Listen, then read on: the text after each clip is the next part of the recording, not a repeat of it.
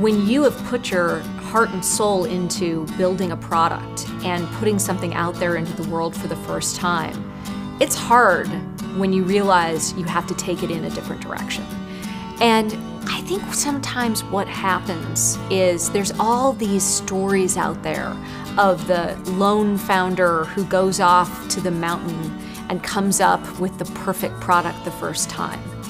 And the reality is that never happens. The actual creation of a new product is messy. It has lots of people. It has people kind of giving you little indicators and signals for what they want, but then also other people telling you very clearly what they don't want. And putting all of those pieces together, I think about it less as being a prophet and much more about being a detective.